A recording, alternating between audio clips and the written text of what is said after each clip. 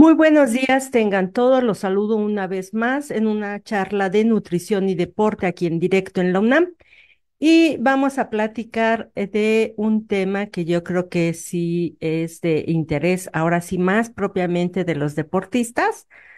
Este, bueno, soy la nutrióloga Rebeca Camacho Trujillo, académico de la UNAM desde hace 33 años y responsable de los deportistas de equipo representativo de la UNAM, de la nutrición. Entonces, este, pues este tema de leucina y deporte yo creo que va a ser de gran interés porque está más enfocado al deporte. A veces tenemos charlas que intervienen con la salud y que, pues, bueno, los deportistas también son seres humanos y también nos interesa su salud.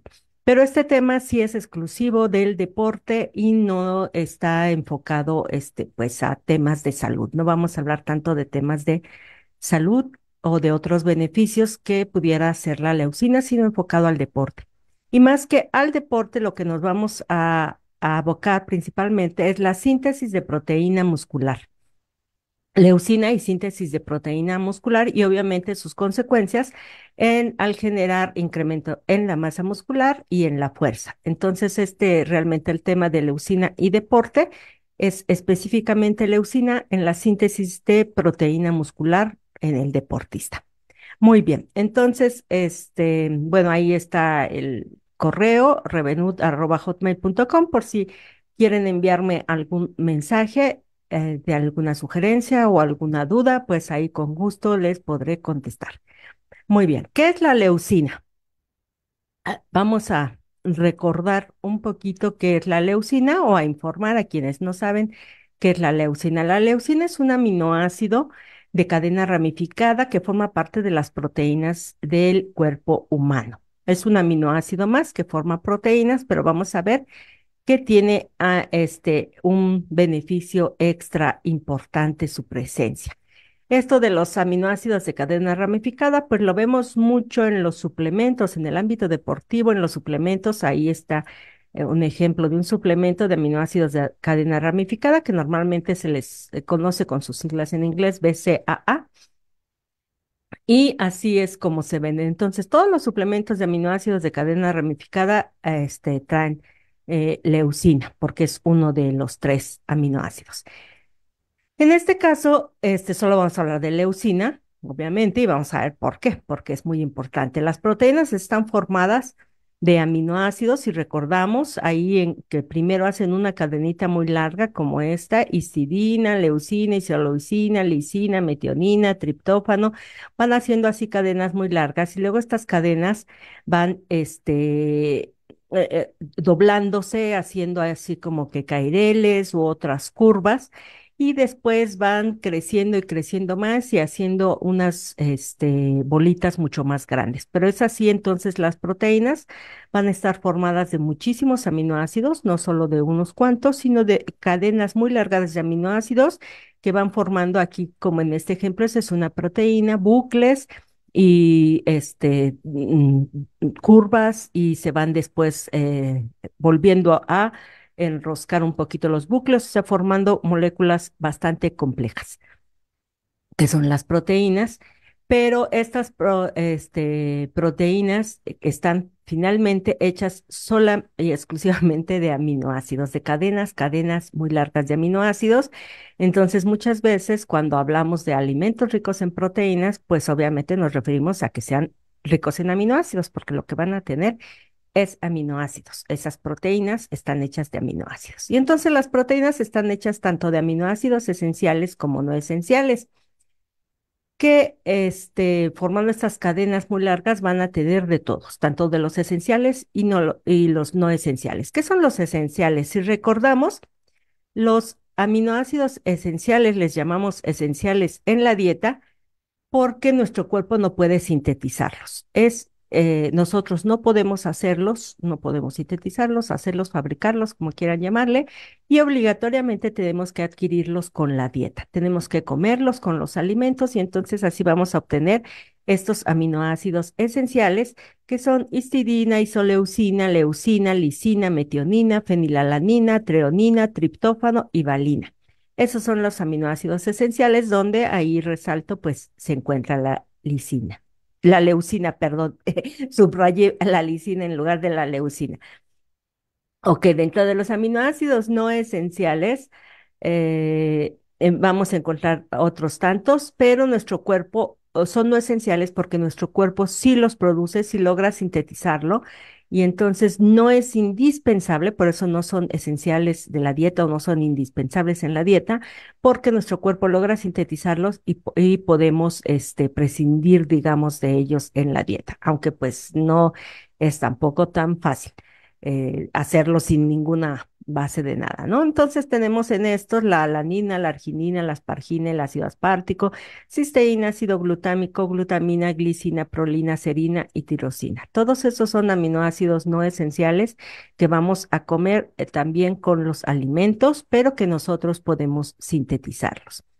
Y hay que recordar que para formar una proteína requerimos de todos los aminoácidos que la forman porque muchas veces eh, nos encontramos, sobre todo en la publicidad, contiene todos los aminoácidos esenciales, tal eh, suplemento. Sí, pero no necesitamos solo todos los esenciales, aunque nosotros no logremos sintetizarlos, sino necesitamos ciertas cantidades importantes de todos. Porque una proteína, esta molécula grandota de la que hemos estado hablando, pues va a tener de todos y entonces no se puede formar si falta este triptófano, si falta tirosina, que a lo mejor no es esencial, nosotros podemos este, e, entrar entre los no esenciales, pero si nos falta tirosina en la dieta y no tenemos cómo hacerla, pues va a ser, este, o no la tenemos en suficiente cantidad, pues no podemos formar determinadas proteínas. Entonces, por eso es importante todos, cuando consumimos, consumir de todos.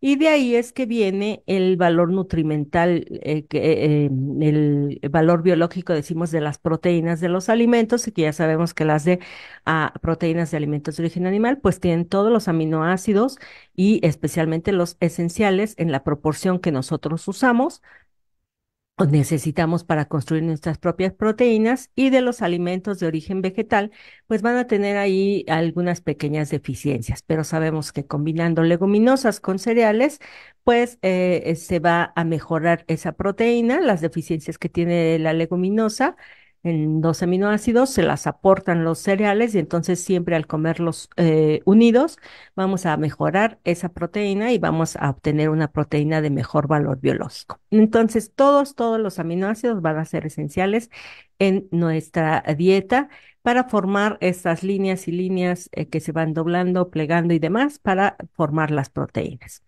La leucina eh, entonces es un aminoácido de estos que forman las proteínas, pero vamos a ver que también tiene algo especial.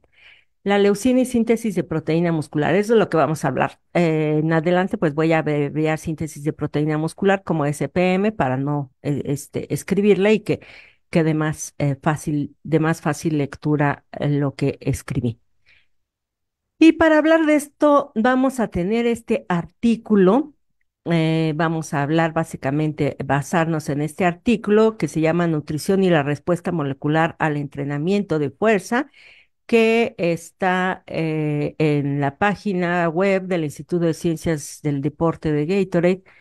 Y este artículo este, suena pues así un poco complejo, la respuesta molecular al entrenamiento de fuerza, porque es un artículo más que nada de divulgación científica, o sea, está escrito para eh, las eh, personas que forman parte de las ciencias del deporte.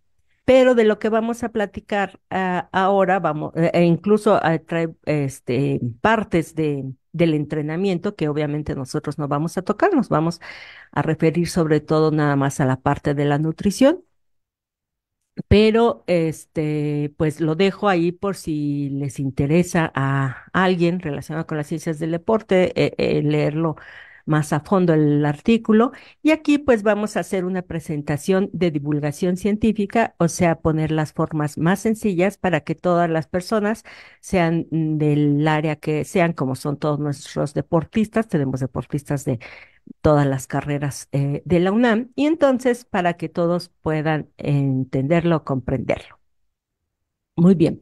Este artículo entonces nos eh, eh, inicia en su introducción con decir que a lo largo de los últimos dos mil años se ha realizado una gran cantidad de progreso en el entendimiento de cómo el entrenamiento de fuerza y la nutrición trabajan juntos para incrementar la masa muscular y la fuerza. Y ahí nos pone un ejemplo muy bonito de este que lo ellos lo mencionan como fábula de un este Milo, no me acuerdo de dónde, eh, eh, atleta este, de la antigüedad que competía en las Olimpiadas de la antigüedad y que además tenía sus, eh, su ganado. Y entonces agarraba un becerro y empezaba a hacer ejercicio con él sobre los hombros.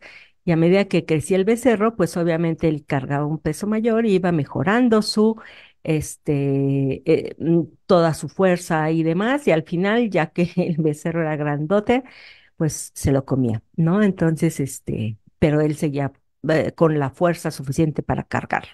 Entonces, es, eh, está muy bonita la historia que nos cuentan, pero justamente la ponen como ejemplo de que va relacionado, es muy importante el hacer el ejercicio exacto. Les digo que ahí mencionan el ejercicio más recomendable, este, y ahí lo, mencionan muy bien, pero pues no vamos a hablar de ello, y eh, eh, unir a esto la nutrición, la alimentación correcta para mejorar la síntesis de proteína muscular y por lo tanto la masa muscular y la fuerza. Y entonces es lo que nos dice, que es lo que va a revisar este, este artículo. Muy bien.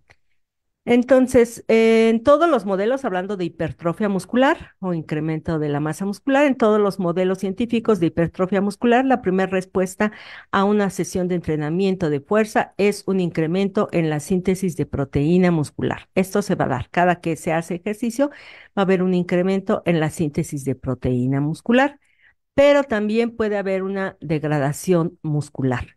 Entonces, si la síntesis de proteína muscular es mayor que la degradación muscular, el músculo se hará más grande y fuerte con el tiempo. Entonces necesitamos que la síntesis de proteína muscular sea mayor a la degradación, o sea, lograr un equilibrio.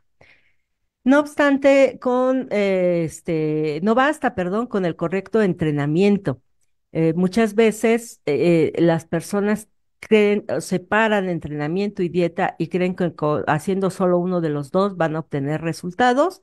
Y hay quienes dicen, pues es que yo quiero una dieta para incrementar masa muscular. Y lo primero que les digo, bueno, sí, y estás comiendo, estás entrenando, no, pues, no, bueno, pues no vas a incrementar masa muscular si no entrenas.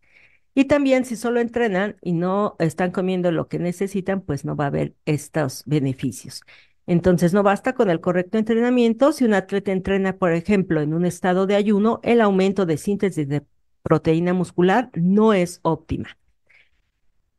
Va a tener ahí un problema y de hecho, en estado de ayuno, el balance de proteína, síntesis de proteína menos la degradación de proteína, permanece negativo después del entrenamiento. Entonces, eh, primer punto, no conviene entrenar en ayuno porque vamos a tener un balance negativo entre síntesis y degradación de proteína muscular y pues no vamos a tener los resultados que queremos. Entonces hay que comer, pero justamente qué comer pues vamos a ver ahorita. Para activar al máximo la síntesis de proteína muscular y llevar al músculo a un balance positivo de proteínas, no solo necesitamos el estímulo del ejercicio, como les decía, sino también el consumo de aminoácidos, los aminoácidos de los que ya hablamos al principio. Y los aminoácidos, aquí en, eh, en lo que estamos hablando, sirven para dos propósitos en el músculo. Suministrar los bloques necesarios para sintetizar nuevas proteínas, como ya dijimos, son cadenas y cadenas de aminoácidos unidos uno tras de otro. Entonces necesitamos suficientes aminoácidos para sintetizar en sí la proteína, hacer la proteína, pero también necesitamos eh, los aminoácidos para estimular la síntesis de proteína muscular para decir, desatar el gatillo de decir, y ahora hay que empezar a sintetizar proteína muscular. Y a pesar de que todos los aminoácidos son necesarios para sintetizar nuevas proteínas, la leucina es el eh, aminoácido que va a estimular la síntesis de proteína muscular. Por eso su importancia por eso siempre, este, ya en otras charlas les he dicho, bueno, es que depende mucho de la leucina que nos esté aportando tal o cual proteína o este, ya sea de un suplemento, ya sea de un alimento, la importancia va a ser de la leucina, que es este, la cantidad de leucina que va a tener, porque esta va a estimular la síntesis de proteína muscular. No solo forma parte de la proteína, sino que estimula su producción, ¿no? Entonces ya sabemos que por eso es que viene tanto en estos suplementos de aminoácidos de cadena ramificada y que incluso estos se venden en forma separada, perdón, se venden en forma separada este, y no en un suplemento de eh, proteínas, de un multi, una batido de proteínas especialmente. Entonces, la leucina es tan importante porque las células musculares contienen un sensor para detectar la leucina.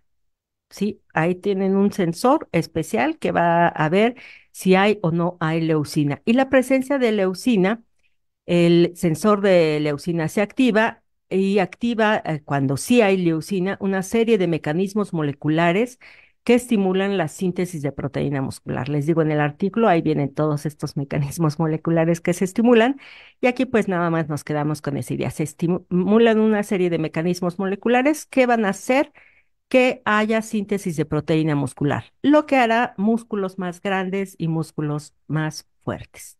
Dado que la leucina juega un papel importante en la síntesis de proteína muscular, es de esperarse que diferentes fuentes dietarias de proteínas afectan la cantidad de leucina que llega al músculo, tanto de los suplementos como eh, de los alimentos. Hay suplementos este, de que las proteínas son de garbanzo, hay suplementos que las proteínas son de soya, que las proteínas son de suero de leche, o de albúmina de huevo o de carne, ¿no? Hay una gran variedad de fuentes de proteína y, o de aminoácidos y por lo tanto eh, la cantidad de leucina que aporta en forma natural esa proteína pues también va a ser diferente eh, al momento de estimular o no la síntesis de proteína muscular, todo esto dependiendo de qué tanto nos aporta de leucina. Y ahí nos ponen un ejemplo de un estudio de laboratorio que demostró que liberar, eh, que se libera más leucina, perdón, en la sangre y que la concentración de leucina en sangre se mantiene más alta por un periodo de tiempo más largo cuando el atleta consume suero de leche en comparación con soya o con caseína, que caseína también es una proteína de la leche. Entonces, este, eh, ahí viene esta imagen, es de, ahí les digo, lo pueden encontrar en la página web eh, del Instituto de Ciencias del Deporte de Gatorade y nos ponen este ejemplo que aquí en esta gráfica es cómo aumenta, aquí está la basal, y cómo aumenta la eh, concentración de leucina en sangre cuando se da suero de leches, estas bolitas eh, verdes, y entonces vemos que a los 30 minutos aumentó bastante. Es la que más aumenta porque la soya aquí aumenta pues menor y la caseína aumenta muy poquito, es la que se queda más atrás. Y se mantiene más elevada que las otras tres, la cantidad eh, de la concentración de leucina en sangre se va manteniendo más alta que las otras, aquí hasta llegar como a, la, a los 120 minutos, donde se igualan ya casi las tres, ¿no? Este, ya aquí se igualaron totalmente la soya y el suero de leche a los 180 minutos. Y la caseína siempre se quedó por abajo de todas. Aquí casi las alcanza y aquí también, pero se queda por abajo. Pero entonces vemos que esto es eh, muy importante. Aumenta más, mucho más la concentración de eh, leucina en sangre cuando se toma un suplemento de suero de leche, comparándolo con el de, este, porque es una proteína más completa que va a tener más leucina, comparándolo con el de soya o con el de caseína, que es este, proteína de leche también, pero no aumenta tanto la concentración, incluso a ese si le gana la, la soya, el suplemento de soya. Entonces, a mayor concentración de leucina, mayor síntesis de proteína muscular.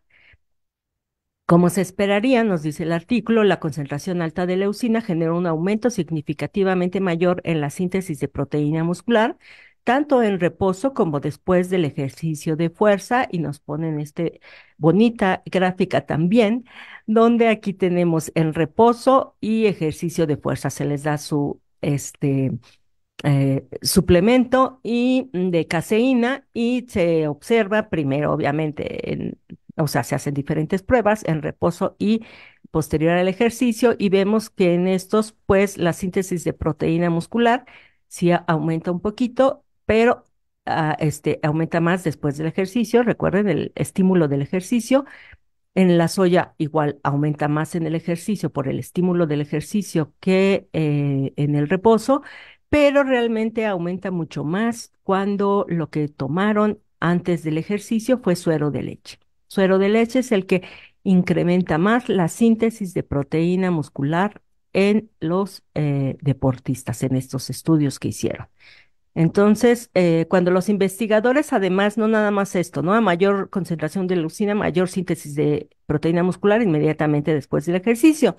Pero los investigadores después siguieron a, lo largo del tiempo, o sea, con, el paso de los días, a los eh, deportistas para ver este, si esto no nada más fue que pasó ese día, el día de la este, prueba, sino que se vio que esto siguió, este, los que tomaron un suplemento de suero de leche eh, justo después del entrenamiento, también tuvieron un mayor aumento de la masa muscular.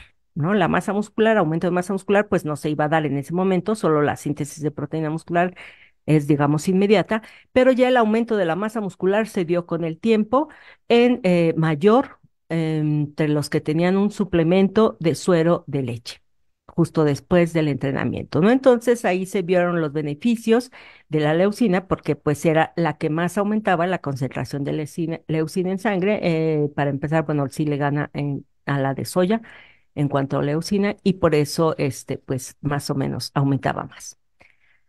Bien, hay otro punto a tratar que es eh, un transportador de leucina. La leucina no puede entrar en el músculo sin un transportador. Necesitamos eh, quien la lleve. Ya quedamos de la sangre, la atraviese la membrana, las membranas musculares y la pase ya al músculo. Este transportador eh, de leucina se estimula con el entrenamiento de fuerza. ¿sí? Vemos que van de la mano ejercicio y este, alimentación. Entonces, el transportador de leucina se estimula con el entrenamiento de fuerza y permanece así incrementado, estimulado eh, alto durante las 24 horas posteriores al ejercicio. Esto, este, pues, es muy bueno y por eso luego encontramos tantas discusiones, porque el otro era, ¿se acuerdan que consumían la leucina inmediatamente después del entrenamiento? Y hay muchos que dicen, no, es que no es verdad que solo en la hora posterior al entrenamiento, sino que estos, el efecto se queda estimulado después del ejercicio, sí, 24 horas después, sí, pero los dos este, son dos cosas que no se excluyen, no son excluyentes una de otra. Entonces, las dos eh, cosas vamos a ver cómo nos van a servir, los dos conocimientos, estos dos datos nos van a servir para poder diseñar un eh, plan con, este, con los máximos beneficios para la síntesis de proteína muscular y por lo tanto el crecimiento de masa muscular y de fuerza. Entonces, el transportador queda este, estimulado, eh, queda en lo alto por 24 horas después del ejercicio de fuerza. Y eh, por lo que el consumo de alimentos ricos en aminoácidos tienen un efecto sobre la síntesis de proteína muscular durante 24 horas después a la sesión pesada de pesas.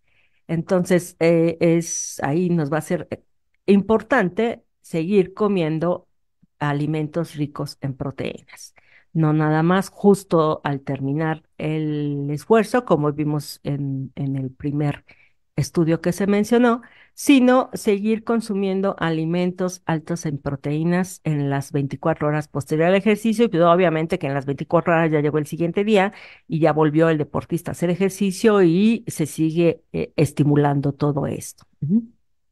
Por lo tanto, hay que seguir comiendo leucina y, este, bueno, alimentos ricos en leucina. No basta nada más con un, este, eh, con un estímulo. Eh, por cierto, bueno, de una vez aquí, los alimentos ricos en leucina son los alimentos de origen animal. Eh, tenía tablas, pero este, las quité, creo que ya las he presentado en otras, en otros momentos. Tablas de alimentos con alto contenido de leucina y básicamente todos son los alimentos de origen animal, los que quedan hasta arriba en cantidades importantes de leucina. Y los de origen vegetal tienen ya, eh, sí nos aportan proteínas, pero eh, nos aportan leucina, pero en una menor proporción. Por eso es que ahí lo que puse fue las carnes, porque realmente son las carnes, el huevo y la leche y los quesos, este, los que nos van a estar aportando leucina en cantidades importantes. Con la ventaja en el caso de la leche que sus proteínas son de más fácil digestión, el suero de leche, que el de, por ejemplo, algunas carnes. Bien, entonces, este, ¿cuál sería el resumen de todo esto? Es esta ah, de, de esta charla, bueno, sobre todo les decía de este artículo, nos pone eh, ahí algunos puntos que eh, vamos a mencionar, los puse entre comillas porque a están así sacados tal cual más o menos. Dice, las ganancias en fuerza y masa muscular pueden mejorarse al optimizar la nutrición, ¿no? Que fue lo que dijimos, que eh, ya desde hace años esto es lo que se ha visto, este, aunque muchas veces todavía, este, eh, recuerdo yo cuando entré aquí hace treinta y tantos años, eh, no faltó quien dijera que lo de la nutrición nada tenía que ver, sino que era más psicológico que, importante si comía o no comía bien el deportista, ¿no? Pero eso fue hace ya 33 años. pero ya se ha visto, o sea, desde antes ya se sabía, y entonces eso pues es un hecho. Las ganancias en fuerza y masa muscular pueden mejorarse al optimizar la nutrición y tanto el entrenamiento de fuerza como ingerir una comida rica en aminoácidos resulta en un aumento de la síntesis de proteína muscular. Pero, insisto, van de la mano el entrenamiento, el ejercicio y la dieta. No puede ser que eh, intentemos encontrar que solo haciendo ejercicio o solo comiendo bien vamos a generar la masa muscular. Y las proteínas dietarias que favorecen un incremento de leucina en la sangre favorecen el aumento de la síntesis de proteína muscular, del crecimiento de los músculos, de la masa muscular y por lo tanto de la fuerza. Y entonces ahí este, les pongo la leche porque es bastante, ya vimos que, bueno, era con suero de leche comparado con la otra proteína de la leche, que es la caseína, era el suero de leche el que mejoraba, pero en sí la proteína de la leche y sus derivados, como los quesos o el yogurt, pues también nos aportan eh, buena cantidad de leucina. Y entonces, ¿cuál es el plan que nos proponen en este artículo? Como les decía, proponen al final un plan para incrementar la masa muscular, la síntesis de proteína muscular, la masa muscular y la fuerza, y eh, este plan empieza, el primer punto del plan es el ejercicio, ¿no? Y ahí nos describe cuál es el ejercicio que encontraron que va a estimular más esto de eh, eh, la leucina, del transportador de leucina, de la este, síntesis de proteína muscular y demás. Y entonces, este, pues sí, si les interesa las bases que nos mencionan ahí del ejercicio, pues hay que ver este, el, el artículo, leer el artículo. Aquí pues no mencionamos estas bases del ejercicio. Nada más vamos a mencionar su plan. Entonces, el punto uno de ese plan es el ejercicio, pero ya el dos, que para nosotros va a ser el uno, es este de esto. Inmediatamente después del ejercicio, así lo ponen inmediatamente después, por eso lo dejé así del ejercicio de fuerza, consumir una fuente de proteínas rápidamente absorbible y rica en el aminoácido de leucina. Y ahí justamente pues va a ser eh, las que las proteínas que se absorben, como les decía, más rápido son las que provienen de la leche, porque es una proteína más fácil digestión, y entonces de la leche o el queso. Entonces un sándwich de requesón que ya habíamos visto que básicamente un eh, el sándwich de requesón, el, bueno, el requesón es suero de leche, entonces un sándwich de requesón eh, después del ejercicio puede ser una opción excelente de una comida para aportar leucina, es proteína de fácil digestión, es suero de leche de fácil digestión y con un buen aporte de leucina. Y obviamente otra opción son los este, suplementos. Los suplementos que nos van a aportar, los suplementos que nos van a aportar ya las proteínas digeridas, Este, bueno, aquí puse el ejemplo del de suero de leche, pero podrían ser eh, los suplementos, pues el, el que quieran. Generalmente, por ejemplo, los de garbanzo traen por scoop un poco más de proteínas para este, complementar un poquito esta pequeña deficiencia de leucina. Entonces, este puede ser eh, cualquier suplemento, pero pues los que se vieron eh, ellos de lo que habían estudiado, pues eran mejor los de suero de leche. No una marca en especial, sino cualquiera de suero de leche o whey protein, ¿no? Que normalmente los encontramos y que luego lo abrevian nada más como whey, este, W-H-E-Y. Bien. Buenos ejemplos de alimentos con leucina, ya hablando de alimentos, son los lácteos, específicamente por el componente de suero de leche, y los huevos. Los huevos también son eh, un buen alimento de leucina, nada más que su proteína es eh, un poco de más difícil digestión o bastante más difícil digestión. Por lo tanto, si se van a consumir huevos, tienen que estar bien, bien, bien cocidos para ir eh, que ya esté predesnaturalizada o en parte esa proteína y pueda ser más fácilmente digerida por la persona, por el deportista que la consume.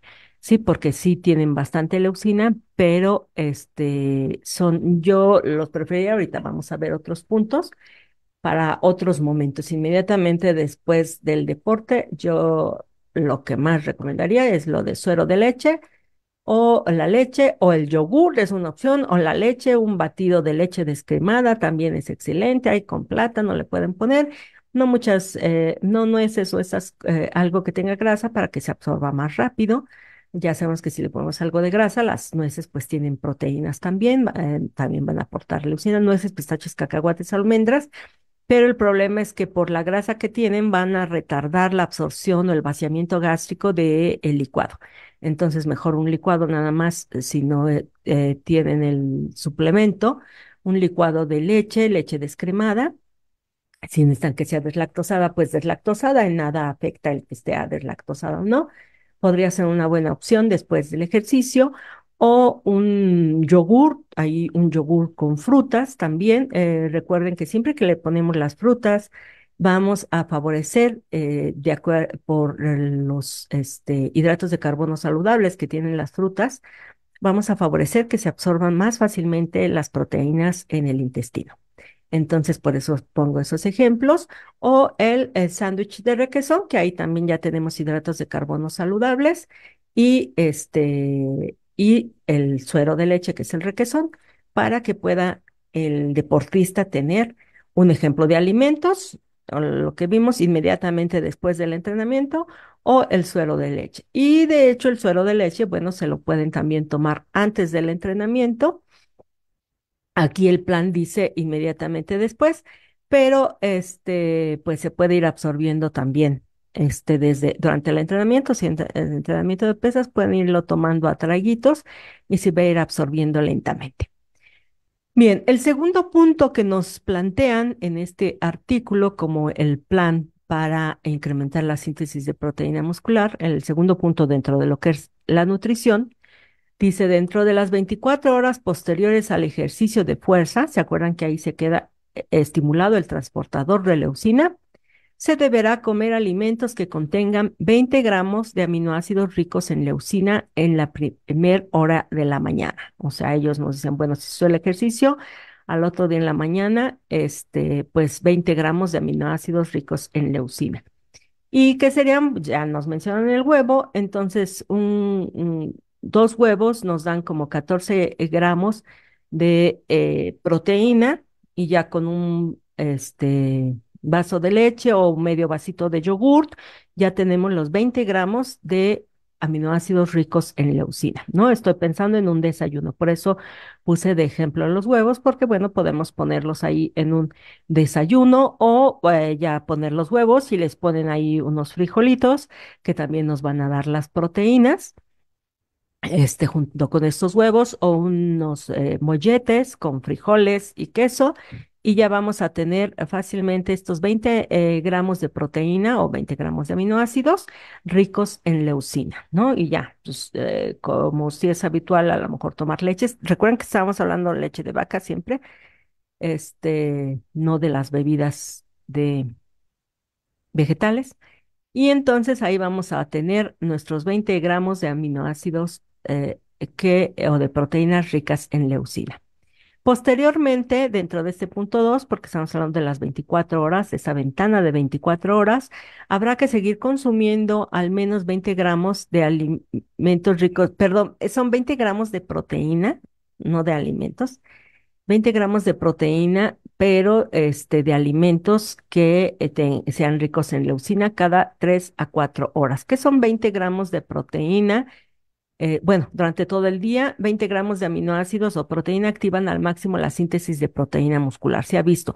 No quiere decir que si solo me tomé un vaso de leche, que son este, entre 7 y 9 gramos de proteína, dependiendo de la leche, eh, no va a servir para nada, ¿no? Aunque ya hay leches con 15 gramos de proteína por eh, vasito, hay leches altas en proteína, no quiere decir que no va a servir, sí se van a absorber, se van a utilizar, pero lo que queremos es estimular al máximo, que es lo que dice ahí, estimular al máximo la síntesis de proteína muscular. Llego a esta aclaración porque me ha pasado con los nutriólogos que vienen a hacer el servicio social aquí que leen y no comprenden y creen que si como menos de 20 gramos de proteína ya no me sirvió de nada. No, sirven todas las proteínas que comamos, se van a absorber y se van a utilizar, pero eh, se ha visto que 20 gramos, al menos 20 gramos, van a estimular más la síntesis de proteína eh, muscular.